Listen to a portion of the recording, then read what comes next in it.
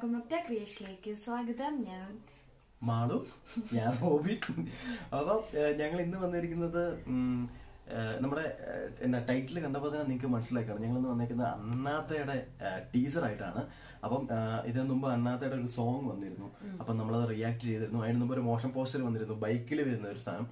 അത് നമ്മൾ റിയാക്ഷൻ ഇട്ടിരുന്നു.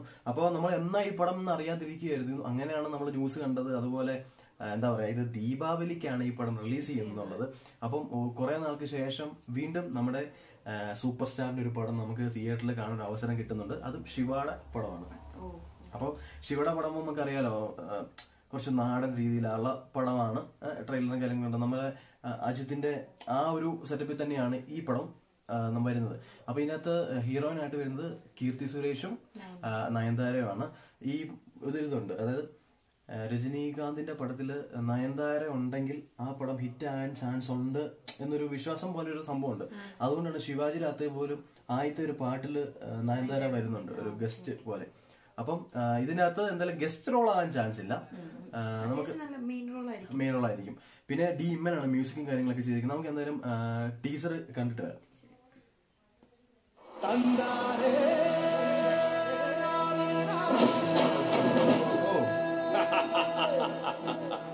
புறமாகத்தானே புறமாத்தானே பார்த்திருக்கேன்.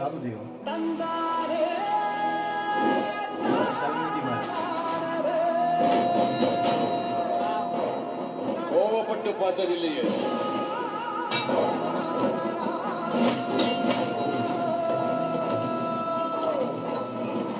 மாட்டார்கள்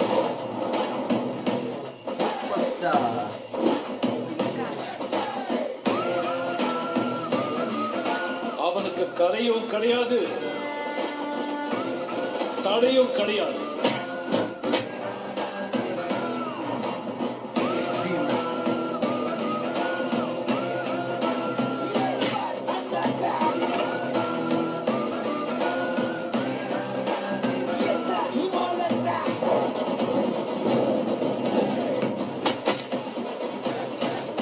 Thank you.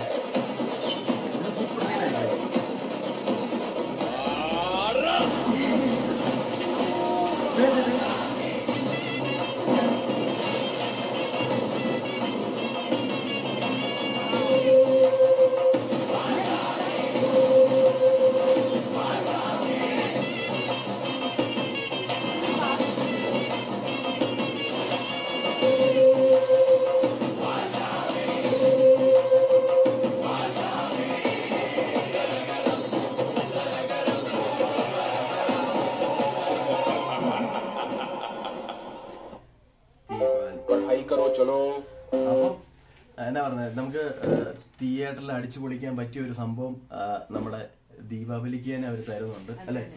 അപ്പം നമുക്ക് കേരളത്തിൽ അത് കാണാൻ പറ്റുമോ എന്നുള്ളത് എനിക്ക് അറിയത്തില്ല ഈ മാസം തിയേറ്റർ തുറക്കും എന്നൊക്കെയാണ് പറയുന്നത്. ചിലപ്പോൾ തുറക്കാൻ ചാൻസ് കൂടുതലാണ്. അപ്പം തുറക്കുവാണെങ്കിൽ ഞങ്ങൾ കേരളത്തിൽ ഇരുന്ന് പടം കാണും.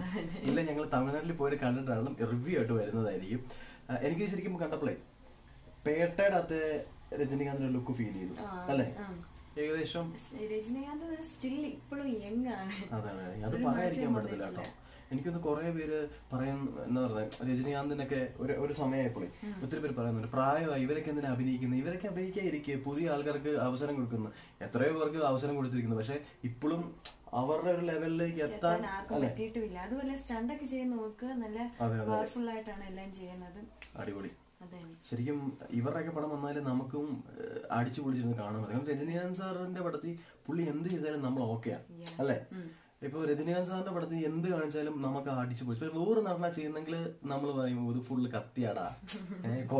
അങ്ങനെ പറയും. പക്ഷെ അതാണ് പുള്ളിയുടെ ഒരു ഒരു ഹൈലൈറ്റ് അത് തന്നെയാണ് നമുക്ക് ഇഷ്ടം പിന്നെ ആ ബ്ലാസ്റ്റ് ചെയ്യുന്ന സീൻ എനിക്ക് തോന്നി. മറ്റേ ഏകദേശം ആ കെ ജി എഫിനകത്ത് കാണിക്കുന്ന ഒരു സെറ്റപ്പ് ഉണ്ട്. ട്രെയിലിനകത്ത് വെടിവെക്കുമ്പോൾ ഓരോ വണ്ടി പോകുമ്പോലേ എന്തോ ഒരു ഗ്രാമത്തിനെ ബേസ് ചെയ്ത് തലവൻ. അതെ ഒരു തലവൻ നമ്മൾ ഇതുവരെ കാണാത്ത ഒരു റോളിൽ ആ പുള്ളി വരുന്നതെന്ന് തോന്നുന്നു. അല്ലേ? വെറൈറ്റി ആയിരിക്കും. വെറൈറ്റി ആയിരിക്കും. ആ, ട്രെയിനിനകത്ത് മ്യൂസിക് മ്യൂസിക് പറയണം.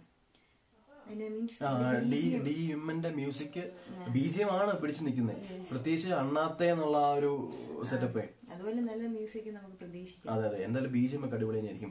പിന്നെ കീർത്തി സുരേഷിനെയും നയൻതാരം അങ്ങനെ കാണിച്ചിട്ടില്ല. ഫുൾ നമ്മുടെ നമുക്ക് കാണേണ്ട സൂപ്പർ സ്റ്റാറിനെയാണ് അത് വ്യക്തമായിട്ട് കാണിച്ചിട്ടുണ്ട്. ശരിക്കും സ്റ്റണ്ട് സീനും പാട്ടും മാത്രമേ കണ്ടിട്ടുള്ളൂ. വേറെ കഥയുടെ പരമായ ഒരു കാര്യങ്ങളും അവർ വിട്ടിട്ടില്ല. ചിലപ്പോൾ ഇനി ട്രെയിലർ വരുമ്പോൾ നമുക്ക് പ്രതീക്ഷിക്കാവുന്ന കാര്യമാണ്. എന്തായാലും ഇപ്പോഴും ഫുൾ ആ ഹെയർ സ്റ്റൈൽ ഒക്കെ ഉണ്ടല്ലേ തന്നെയാണ്. അതെ അതെ അതെ. എങ്ങനെ പറഞ്ഞാൽ ശരിക്കും ഇതിപ്പോ നമുക്കറിയാം രജനിസാൻ രജനി ഇത്രയും പ്രായമായി എന്നൊക്കെ നമുക്കറിയാം. പക്ഷെ വെളിയിൽ നിന്ന് ഒരാളെ ഇത് കാണുന്നെങ്കിൽ കാണിച്ച ആ ഇതൊരു നാപ്പത്തഞ്ച് അല്ലേ? അങ്ങനെ പറയത്തുള്ളൂ. അപ്പം കൂടുതൽ പടങ്ങളും കാര്യങ്ങളൊക്കെ പിന്നെ വേറൊരു ന്യൂസും കൂടെ കേട്ടു. ഇതായിരിക്കും രജനി സാറിന്റെ ലാസ്റ്റ് മൂവിനെ കുറിച്ച് അവർ പറയുന്നുണ്ട്.